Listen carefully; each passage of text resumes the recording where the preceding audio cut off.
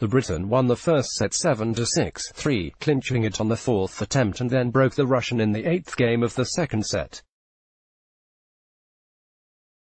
Evans, who was banned for a year in 2017 for taking cocaine, has won 10 straight matches after also winning the title at Surbiton last week.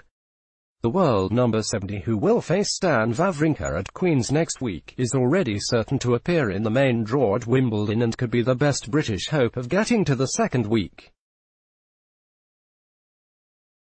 Evans, 29, is behind Kyle Edmund and Cameron Norrie in the world rankings but on current form, and the patchy period his compatriots are going through in 2019 he could progress through the first few rounds if the draw is kind to him.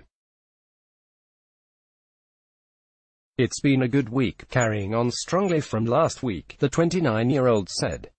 I played very well in the first match, today. The second match, I was a bit frustrated and I was very tired. But I didn't lose a set today, so I can't be too unhappy. I played well out there, despite the wind. Let's block ads. Why?